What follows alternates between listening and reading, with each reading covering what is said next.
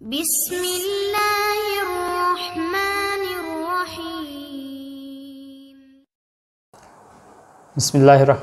अल्लाम वरहमल वरक मैं हूँ आपका होस्ट डॉक्टर इमरान और आप देख रहे हैं मोहम्मद क्लिनिक यूट्यूब चैनल। आज हम बात करेंगे फोलिक एसिड पे। बहुत ही अम वाइटामिन है ये। इसकी डेफिशिएंसी हमें मुख्तलिफ़ किस्म की कॉम्प्लिकेशंस कर सकती है। तो फोलिक एसिड बेसिकली है क्या? फोलिक एसिड का हमारे जिसम में बहुत ज़्यादा किरदार है हमारे न्यू सेल्स की जो ग्रोथ है या हमारे जिसम में न्यू टिश्यूज़ का जो बनना है वो फोलिक एसिड इसमें अहम किरदार कर, अदा करता है।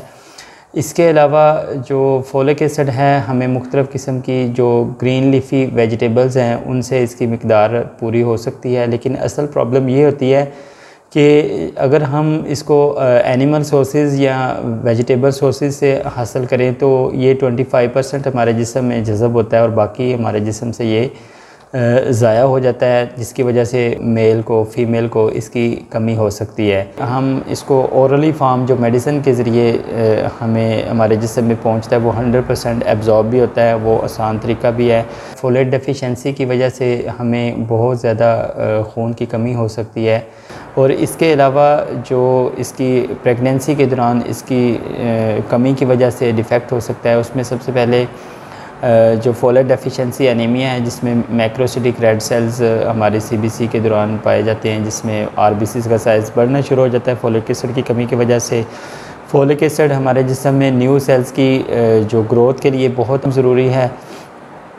इसलिए फोलिक एसिड को प्रेगनेंसी के दौरान रिकमेंड किया जाता है। और इसके अलावा अगर इस जिस औरत में खून की कमी फोलेट डेफिशिएंसी की वजह से हो, उसमें कुछ कॉम्प्लिकेशंस आ सकती हैं फ़ीटस की ग्रोथ रुक सकती है फ़ीटस की डेवलपमेंट के लिए फोलिक एसिड बहुत अहम किरदार अदा करता है। अगर इसकी कमी हो तो माँ के पेट के अंदर बच्चे के कुछ डिफ़ेक्ट आ सकते हैं। उनमें यह है कि सबसे पहले ट्यूबल न्यूरल डिफ़ेक्ट होता है, जिसमें जो स्पाइनल कार्ड है वो पूरी तरह नहीं बन पाता।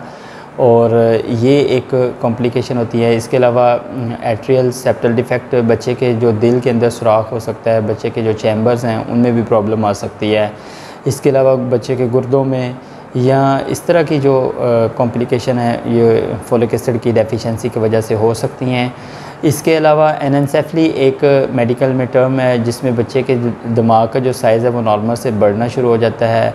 ये चंद कॉम्प्लिकेशन हैं जो कि फोलिक एसिड डेफिशिएंसी की वजह से हो सकती हैं। जो औरतें कंसीव करना चाहती हैं, ये कंसीविंग वाइटामस के तौर पे इसको भी हम कह सकते हैं। जो औरतें कंसीविंग प्लान रखती हैं, वो सब एक या दो मंथ पहले ही इसको स्टार्ट कर दें। इसकी जो रिकमेंडेड डोज़ है वो बिफ़ोर प्रेगनेंसी आप 400 माइक्रोग्राम पर डे ले सकती हैं। इसके अलावा ड्यूरिंग प्रेगनेंसी आप 600 माइक्रोग्राम पर डे भी ले सकती हैं। इसके अलावा ये मकदार अगर किसी औरत में फोलिक एसिड की ज़्यादा कमी पाई जा सकती है तो इससे बढ़ाई भी जा सकती है। ये 600 माइक्रोग्राम से लेके हज़ार माइक्रोग्राम तक भी जा सकती है। इसके अलावा लैक्टेटिंग मदर्स में भी जो मेगेलोब्लास्टिक एनीमिया हो सकता है तो आप लैक्टेटिंग मदर्स जो हैं, वो हज़ार माइक्रोग्राम पर डे के हिसाब से भी ये ले सकती हैं। तो ये वाइटामस हमारे जिसम में बहुत ही अहम रोल अदा करता है, इसलिए आप इसको मार्केट में जो मिथाइल फोलेट के नाम से या मुख्तलफ़ क्यू फोलिक के नाम से ग्रीन फोलिक के नाम से ये जो मेडिसिन अवेलेबल हैं आप इनसे ज़्यादा से ज़्यादा इस्तेफ़ादा हासिल करें ताकि आप इस फोलेट डेफिशिएंसी अनीमिया का शिकार ना हों। तो इन अगली वीडियो में मैं आपको बताऊँगा कि इसके कौन कौन से सोर्सेज हैं आप किन टैबलेट के अलावा आप कौन से सोर्सेज ये हासिल कर सकते हैं। तो कोशिश करें आप ड्यूरिंग प्रेगनेंसी आप फोलिक एसिड का ज़्यादा से ज़्यादा इस्तेमाल करें ताकि आप के बच्चे में जो कुदरती नक्स मौजूद हो सकते हैं, आप उनकी कॉम्प्लिकेशन से बच जाएँ। इस चैनल को सब्सक्राइब भी करें और इस वीडियो को शेयर भी करें और लाइक भी करें। जजाकम्ला खैर। अल्लाम वरहमल वर्का